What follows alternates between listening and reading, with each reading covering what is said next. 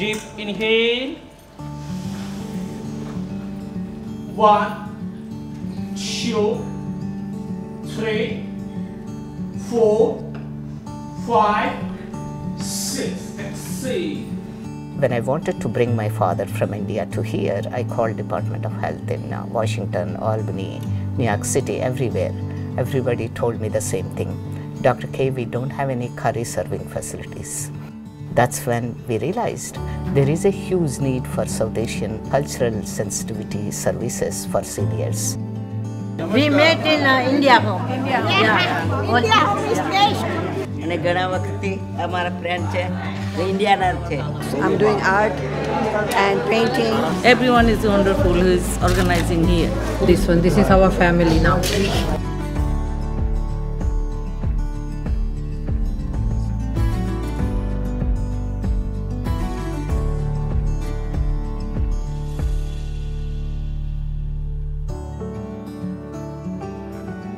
We have various collaborations with faith-based organizations.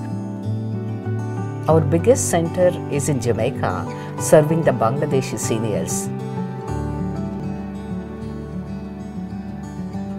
Our new venture is starting the co-living home for seniors in Floral Park and Jamaica. And our biggest coming venture, we are planning to develop 102 affordable housing units for seniors in Jamaica. We also started Dementia Day program.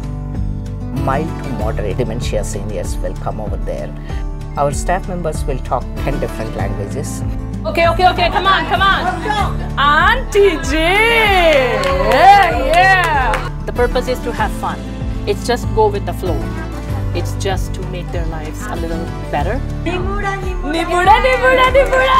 Kacha, kacha, chota, chota. Nibuda. They might not remember their family members' names, but they know every Bollywood song from beginning to end. They are part of our family. They look forward to coming here. And that's what makes me feel that we achieved something. So the culture and community and a home-like atmosphere is what it is. It is a real home. It is a community home.